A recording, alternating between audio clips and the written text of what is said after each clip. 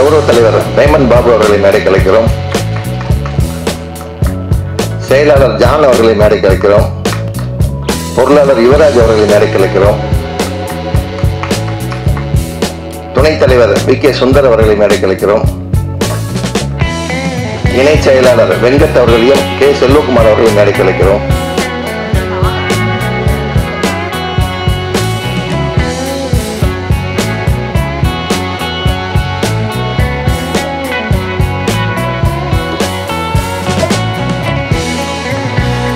செயற்குழு உறுப்பினர்கள் கிளாமர் சத்யா அவர்களை மேடை மதுரை செல்வம் அவர்களை மேடை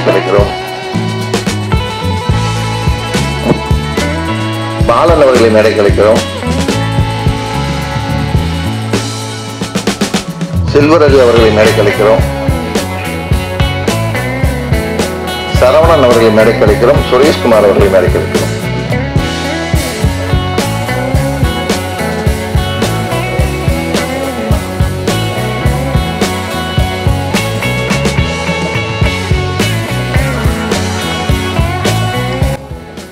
கௌரவ தலைவர் தைம பாபு அவர்கள் இப்பொழுது இயக்குனர் அமீர் சார் அவர்களுக்கு மரியாதை செய்வார்.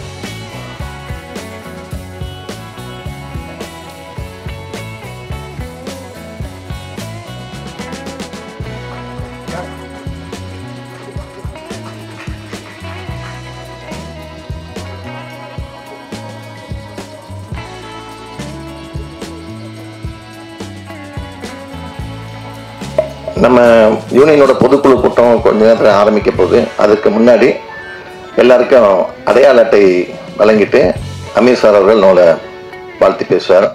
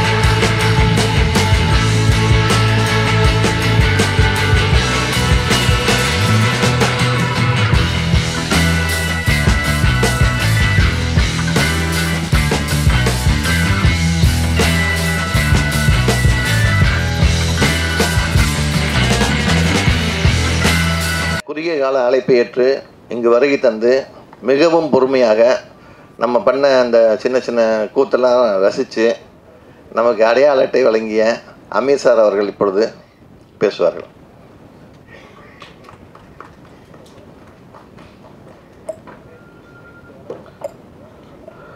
அரங்கத்தில் இருக்கும் அனைவருக்கும் இறைவன் புறத்திலிருந்து சாந்தியும் சமாதானம் உண்டாகட்டும். பொதுக்குழு அப்படின்னோடனே எங்கள் இயக்குனர் சங்கத்துடைய பொதுக்குழு தான் எனக்கு நினைவுக்கு வந்தது. உள்ளே நுழைஞ்ச உடனே ஏன்னா யாருமே இல்லையோ? அப்படி அப்படின்ற ஒரு அச்சம் ஏற்பட்டது. ஏன்னா எங்கள் இது ஆயிரத்தி எண்ணூறு பேர் மெம்பரு. அதில் எப்படியும் கமலா தேட்டில் நடத்துனோம்னா ஃபுல்லாகிடும் அது போல் ஸ்டாண்டிங்கில் இருப்பாங்க எல்லாரும். அப்புறம் கேட்டேன் என்ன ஜான் என்ன இல்லை எண்பது பேர் தான் சார் மொத்தமே அப்படின்னா. இப்போ அதுவும் கம்மியாக இருக்கிற மாதிரி எண்ணி பார்த்தேன். அப்புறம் ஆனால் கார்டு கொடுக்கும்போது தான் தெரிஞ்சு ஆல்மோஸ்ட் எல்லோரும் வந்துட்டாங்கன்னு ரொம்ப சந்தோஷம். நான் திரைத்துறைக்கு வருவதற்கு முன்னால் இருந்து என்னோட எனக்கு மூத்தவர்கள் இங்கே இருக்காங்க. நான் வந்த காலம் தொட்டு நான் பார்த்து அந்த காலகட்டத்தில் வந்து பயணித்தவங்க இருக்காங்க. அதற்கு பின்னால் பிஆர்ஓவாக வந்தவங்க இருக்காங்க. கிட்டத்தட்ட ஒரு எழுபது சதவீதம் பேர் எனக்கு நேரடியாகவே தெரியும். இந்த மாதிரியான ஒரு நிகழ்வுக்கு நான் எப்போவுமே ஸ்கூல் ஃபங்க்ஷனுக்கு காலேஜ் ஃபங்க்ஷனுக்கு போகும்போதெல்லாம் கொஞ்சம் கில்ட்டியாக இருப்பேன். ஏன்னா அது நம்ம படித்த இடம். நமக்குன்னு ஒரு அடையாளம் வெளியில் தான் கிடச்சிருக்கே தவிர பள்ளிக்கூடத்தில் கிடைக்காது. காரணம் வந்து நம்ம ஒன்றும் ஃபஸ்ட் கிளாஸ் ஸ்டூடெண்ட்டும் கிடையாது. அப்படி இருந்திருந்தால் ஸ்கூல் படிக்கும்போதே அதெல்லாம் கிடச்சிருக்கும். அதனால் ஸ்கூல் காலேஜ் ஃபங்க்ஷனுக்கு போகும்போதெல்லாம் எப்பொழுதுமே இப்பவும் இந்த நிமிஷம் வரைக்கும் சினிமாவுக்கு வந்த நாள்லேருந்து அதுபோல் பத்திரிகையாளர்கள் சங்கமும் சரி பிஆர்ஓ யூனியனும் சரி எனக்கு எப்பொழுதுமே எனக்கு மூத்தவர்கள் தான் குரு மாதிரி தான். என்னை போன்றவர்களே சமூகத்திற்கு அடையாளம் காட்டியவர்கள். அதனால் உங்களுக்கு எப்பொழுதுமே என்னுடைய மனமார்ந்த நன்றியை நான் தெரிவிச்சுக்கிறேன். குறுகிய காலகட்டத்தில்னு சொல்கிறாங்க அப்படிலாம் இல்லை நிக்கில் கேட்டார். கேட்குறாங்கன்னு எதுக்கு நிக்கில் கேட்குறீங்க டயத்தை மட்டும் சொல்லுங்கள் வந்துடுறேன் காலையிலனா கொஞ்சம் லேட் ஆகும். அதை மட்டும் சொல்லிடுங்கன்னு எப்போவுமே காலையில் ஃபங்க்ஷனுக்கு லேட்டாக தான் வருவேன் நான். ஏன்னா நைட்டு தான் ரொம்ப லேட்டாக தான் படுக்கிறது. அதனால் இந்த மாதிரியான ஒரு நிகழ்வில் என்ன கொடுக்க வச்சு நீங்கள் வாங்கிக்கிட்டீங்க பாருங்க. Diamond Babu sir Vijay Mullai sir அண்ணன் நெல்லை சுந்தரராஜன் இவங்கெல்லாம் அவங்க பார்க்காத ஆட்களா? அவங்களுக்கு தெரியும். ஒரு ஆள் மேடையில் நிற்கும் பொழுது அவன் பேசும் பொழுது இவன் யார் எப்போ வந்தான் என்ன பேசினான் முதல்ல என்ன பேசினான் இப்போ என்ன பேசுகிறான் எல்லாம் கணிச்சிடுவாங்க அவங்க. அந்த மாதிரியான ஆட்கள் வந்து என்கிட்ட கார்டு வாங்கிக்கிறதுக்கு ஒத்துக்கிட்டது இருக்குல்ல அதுக்கு நான் தான் உங்களுக்கு நன்றி செலுத்தணும். ரொம்ப மனப்பூர்வமாக உளப்பூர்வமாக சொல்கிறேன் மேடைக்காக சொல்லலை. அதனால் என்னை நீங்கள் தான் கௌரவப்படுத்தியிருக்கீங்க அதனால் அது என்னுடைய கடமையாக நினைக்கிறேன். அப்புறம் பக்கத்தில் பேசிகிட்டு இருக்கும் பொழுது விஜய் முரளி சார் சொல்கிறார் அந்த ஸ்டில் எடுக்கும்போது ஒரு கமெண்ட் ஒன்று கொடுத்தாரு. சார் ஆசையாக அப்படியே இருங்கன்னு. நாங்கள் அப்படியே தான் இருக்கோம் அப்படின்னாரு. அதுக்குள்ளே ஆயிரம் அர்த்தங்கள் இருக்குது அது சும்மா இல்லை. நாங்கள் அப்படியே தான் இருக்கோம்னா நாங்கள் திரைத்துறையில் அப்படியே தான் இருக்கோம். வர்றவங்க தான் ஏறி போயிட்டே இருக்காங்க. அந்த அப்படியே தான்றதில் இருக்கிற அர்த்தம். அது நம்ம ஒன்றும் செய்ய முடியாது. நம்ம தேர்ந்தெடுத்த துறை அது. ஒரு தயாரிப்பாளராக இருக்கலாம். ஒரு பத்திரிகையாளராக இருக்கலாம் ஒரு பிஆர்ஓவாக இருக்கலாம் ஒரு இயக்குனராக இருக்கலாம். எல்லாருக்குமே இது பொருந்தும்னு சொல்கிறேன் நான். இந்த துறை அனைவரும் சேர்ந்து வேலை செய்கிற துறையாக இருந்தாலும் மக்களிடத்தில் போகும் பொழுது நடிகர்களுக்கு தான் முன்னுரிமை. அது நம்ம தவிர்க்க முடியாதது. அது உலகம் முழுவதும் இருக்கிறது தான். அதை ஒத்துக்கிட்டு தான் ஆகணும் நம்ம. ஏன்னா தன்னுடைய கவலையை மறந்து ஒரு திரையரங்குக்கு வந்து ஒரு திரைப்படம் பார்க்கணும்னா தன்னுடைய ஆதர்ச நாயகனாக இருக்கிறவங்க நாயகியாக இருக்கிறவங்கள தான் விரும்புவாங்க. நம்மளும் அப்படி தான் கடந்து வந்துருப்போம் சின்ன வயசுலேருந்து நான் ரஜினி கமல் பார்த்துருந்தேன்னா சுந்தரராஜன் டைமண்ட் பாபுலாம் எம்ஜிஆர் சிவாஜி பார்த்துருப்பாங்க. அவ்வளோதான் இந்த டிஃப்ரென்ஸ் தானே தவிர அது மாறவே மாறாது. அதை மாற்றணும்னு நம்ம நினைக்கவே முடியாது. அந்த சயின்ஸை நம்ம போய் மாற்ற முடியாது. ஆனாலும் நம்ம தேர்ந்தெடுத்திருக்கிற துறை இது. இது முடிவு பண்ணியாச்சு இதுதான். ஒரு பிஆர்ஓவாக இருக்கணும் ஒரு டைரக்டராக இருக்கணும் ஒரு ப்ரொடியூசராக இருக்கணும். அப்படிங்கும் பொழுது ஒரு பத்திரிகையாளராக இருக்கும்போது அதுக்கு என்ன கிடைக்குமோ அது நமக்காக கிடைக்கும். அது நம்ம ஆத்ம திருப்தியோடு வேலை செய்கிறோம் திருப்தி இல்லாமல் நம்ம வேலை செய்யலை. ஏதோ பணத்துக்காக வேலை செய்கிறோம் அப்படின்றது இல்லை. திருப்தியோடு வேலை செய்கிறோம் அதனால் நம்ம கடந்து யார் போனாலும் நமக்கு தெரியும்ல. இவர் நம்ம கொண்டு போய் சேர்த்தவங்க அப்படின்ற ஒரு எண்ணம் இருக்கு இல்லையா? அந்த ஆத்ம திருப்தி தான் நமக்கு கடைசியில் வரும். வெறும் புகழும் பணமும் கிடையாது. அதில் வந்து நீங்கள் எவ்வளோ பேரை பார்த்துருப்பீங்க? இந்த சினிமாவில் நான் இதே பிரசாத் லெவலில் வந்து நின்று பார்த்து கிட்டத்தட்ட இருபத்தஞ்சி முப்பது வருஷத்துக்கு முன்னாடி பார்த்ததெல்லாம் பல மேடைகள் பல ஆட்கள் பல விஐபிக்கள் பாதி பேர் இருந்த இடமே தெரியலை. ஸோ அதனால் அந்த ஆத்ம திருப்தியோடு வேலை செய்கிறோம் இல்லையா? அந்த திருப்தி உங்களுக்கு இருக்கும்னு நான் நம்புகிறேன் இல்லைனாலும் நம்ம அதை தான் வச்சுக்கணும். ஸோ அதனால் விஜயமுரளி சார் சொன்ன மாதிரி அப்படியே இருங்க. அது வந்து அது சரியானதாக இருக்கும். ஆனாலும் இன்றைய காலகட்டத்தில் பொருளாதாரம் என்பது ரொம்ப முக்கியமாக இருக்குது அதையும் நம்ம பார்த்துக்க வேண்டிய அவசியமும் இருக்குது அதுலேயும் கவனம் செலுத்தணும். மற்றபடி உங்களோட ஒரு நிகழ்வு அது இப்போ சொல்லாமான்னு தெரில எனக்கு ஒரு விஷயம் நான் கவனித்தேன் அது யாரையும் காயப்படுத்துகிற மாதிரி ஆயிருமான்னு தெரில யாரையாவது பாயிண்ட் அவுட் பண்ணி சொல்கிறது மாதிரி ஆயிருமான்னு. ஆனால் ரொம்ப நாளாக யோசிச்சுட்டு இருந்தேன் நான். இப்போது நம்ம வந்து திறமையின் மீது நம்பிக்கை வச்சு தான் வரணும். நமக்கு வாழ்க்கையில் நமக்கு முன்னாடி பாதைகள் இருக்குது வேகமாக போகிறதுக்கு வாகனம் இருக்குது நடந்து போகிறதுக்கு இருக்குது சைக்கிள் இருக்குது வண்டி இருக்குது இன்னும் நிறைய பாதைகள் இருக்குது எந்த பாதையும் நம்ம போட்ட பாதை கிடையாது. எல்லாமே நம்ம முன்னோர்கள் போட்ட பாதை தான். அந்த பாதையில் தான் நம்ம பயணிக்கணும் அப்போ இதில் எந்த பாதையில் போகணும்? இலக்கு ஒன்று தான். எல்லாருக்குமே ஒரு டெட் எண்ட் இருக்குது அது வாழ்க்கையோட இறுதி நாள் அப்படின்னு சொல்லி. அவங்களுடைய ஒவ்வொரு மனிதனுடைய வாழ்க்கையோட நாள் எல்லாத்துக்குமே ஒரு டெட்லைன் இருக்குது ஆனால் இதில் எப்படி போகணும்? அப்படின்னா பல பாதைகள் இருக்குது நம்ம தான் விரும்பி தேர்ந்தெடுக்கணும். நான் நடந்து போகணுன்னு விரும்புகிறேன் நான்.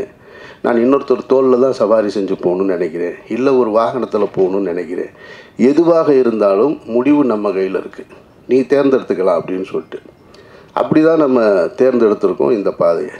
இதில் வந்து ஒருவரை காலி பண்ணி இன்னொருத்தர் போகிறதுன்ட்டு இருக்கு இல்லையா? அது வந்து ஏற்புடையதே கிடையாது. அது எந்த துறையாக இருந்தாலும் சரி. இப்போ எனக்கு என்னுடைய நண்பருக்கு வர்ற ஒரு வாய்ப்பை நான் பறித்து அது நம்ம இங்கே ஒன்று ரெண்டு செய்திகள் கேள்விப்படுறோம்.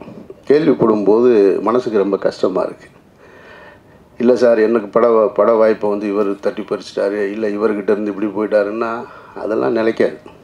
அப்படிலாம் நீங்கள் யார் வேணாலும் அது ஒரு இன்சிடெண்ட்டாக ஒரு தடவை நடக்கலாமே தவிர ஒவ்வொரு தடவையும் நடக்காது. அது ஒரு தடவை தான் நடக்கும்.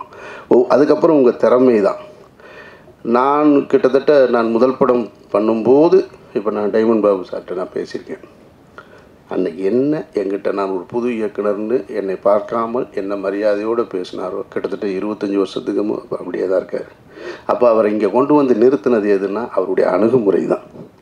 அவருடைய தன்மை தான். அவருடைய தொழில் மேல் அவர் வச்சுருந்த நம்பிக்கை பக்தி தான்.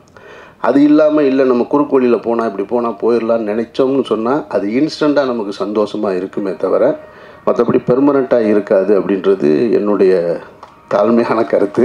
அதை நான் உங்கள்கிட்ட பகிர்ந்துக்கிறேன். அப்புறம் நிறைய நான் வந்து ஸ்டில்ஸு நிறையா பார்ப்பேன். புதுமுகங்கள் ஏன்னா பெரிய நடிகர்களோடு நான் ஒர்க் பண்ணுறது இல்லையா? அதனால் நடிகைகள் நடிகர்கள் இந்த மாதிரி இப்போ சின்ன புதிய முகங்களை தேடிக்கிட்டே இருப்பேன். அந்த மாதிரி முகங்களை தேடும் பொழுது சில பிஆர்ஓக்கள் அவங்க வந்து பேர் சொல்ல விரும்பலை நான். அவங்களோட கண்ட்ரோலில் அவங்க பதிவு பண்ணியிருக்காங்க. ஒரு புகைப்படம் ஸ்டேட்டஸ் மற்ற வேறு இதில் பதிவு பண்ணுறாங்க அப்போது ஒரு ரெண்டு மூணு ஸ்டில்ல அவங்கக்கிட்டேயே எனக்கு நேரடியாக என்னுடைய எண் தொடர்பில் இருக்கிறதுனால நானே கேட்குறேன். நான் மெஜாரிட்டியாக பத்திரிகையாளர்கள் பிஆர்ஓ எல்லாமே என் கூட நேரடியாக தொடர்பில் இருக்கவங்க மேனேஜர் தொடர்பில் இல்லை. அப்படி கேட்கும்போது அவங்க என்ன சொல்கிறாங்கன்னா இந்த- இந்த இந்த பொண்ணு வேணும் இல்லை இந்த இந்த ஆர்டிஸ்ட் வேணும் இந்த பையன் வேணும்னு கேட்கும்போது சார் நீங்கள் என்ன பிஆர்ஓ கன்ஃபார்ம் பண்ணுறீங்கன்னு சொல்லுங்கள் அப்புறமா நான் ஃபோட்டோ அனுப்பேன் அது எனக்கு வந்து ரொம்ப ரொம்ப அன்னீசியாக இருக்குது எனக்கு. அது ரொம்ப சங்கடத்தை தருது எனக்கு. அப்படி பண்ணக்கூடாது நீங்கள் இப்போ நீங்கள் எடுக்கிற அந்த முடிவு உங்களை பாதிக்கலை. உங்களை நம்பி ஃபோட்டோ கொடுத்து உங்களை ஃபிக்ஸ் பண்ணியிருக்காங்க இல்லையா ஆர்டிஸ்ட்டு அவங்களோட கெரியரையும் பாதிக்குது. அப்போ என்னைய மாதிரி ஆளுக்கு என்ன கோவம் வருதுன்னா அப்படின்னு நீங்கள் டிமாண்ட் வச்சிங்கன்னா நான் ஒன்றும் செய்ய முடியாது. இப்போ நான் முதல் படத்துலேருந்து என்னுடைய ப படத்தில் வந்து சினேகன் தான் பாட்டு எழுதுகிறார் அப்படின்னா மித்தவங்களாம் நல்லா பாட்டு எழுதலைன்னு அர்த்தமா? மற்றவங்களாம் பாடல் ஆசிரியர் இல்லைன்னு அர்த்தமா? அப்படி கிடையாது. அவர் என் கூட ஜெல் ஆயிட்டாரு. நான் கூப்பிட்ற நேரத்துக்கு வர்றாரு. இப்போ ரொம்ப இப்போ பிக் பாஸில் அவர் உள்ளே இருக்கும்போது தான் நான் வைரமுத்துக்கிட்ட போனேன். வேறு வழியே இல்லாமல் சந்தனத்தேவனுக்கு அப்போ பா எல்லா நேரமும் அவரோட தான் பண்ணுறேன் இப்போ நான் வந்து முதல் படம் வந்து மௌன ரம்யோட பண்ணேன் அப்புறம் நிக்கிலோட பண்ணுறேன் அப்புறம் இடையில நிக்கில் இல்லை திரும்ப நிக்கில் பண்ணுறாரு இது வந்து அந்தந்த சூழல் முடிவு பண்ணுது. ப்ரொடியூசர் முடிவு பண்ணுறாரு இல்லை ஒருவேளை ஆர்டிஸ்ட்டு கூட முடிவு பண்ணுவாங்க. இதெல்லாம் நம்ம அப்படி சொல்ல முடியாது. அப்போ அந்த டிமாண்ட் வைக்கிறது இருக்கு இல்லையா? அது வந்து உங்களுடைய தப்பாக நினச்சிக்காதீங்க. எல்லாருமே பெரியவங்களா இருக்கீங்க. அது டிமாண்ட் வைக்கும்போது எனக்கு ரொம்ப சங்கடத்தை தருது. அப்படி வைக்க வேண்டிய அவசியம் இல்லை. நீங்கள் தைரியமாக கொடுக்கலாம். கேட்டால் வேணும்னா நான் எடுத்துக்க போகிறோம் எல்லாருமே அதை எடுத்துக்க போகிறோம் இந்த ரெண்டு விஷயத்தை தான் உங்ககிட்ட நான் பகிர்ந்துக்கணும்னு நினச்சேன். மற்றபடி உங்களுடைய சங்கம் சிறப்பாக செயல்பட இப்போ மட்டும் இல்லை எல்லா நேரத்திலையும் எல்லா காலகட்டத்திலையும் நான் வந்து உறுதுணையாக உங்களுக்கு நான் இருக்கிறேன். நான் இருக்கிற காலகட்டம் வரைக்கும். அதனால் நீங்கள் எந்த நிகழ்வுனாலும் சரி எந்த தேவைனாலும் சரி நீங்கள் என்னை அணுகலாம். உங்களுடைய இந்த நிகழ்ச்சியில் கலந்துக்கிறதுக்கு மீண்டும் சொல்கிறேன் எனக்கு வாய்ப்படுவதற்கு என்னுடைய நெஞ்சார்ந்த நன்றி கூறி விடைபெறுகிறேன். நன்றி.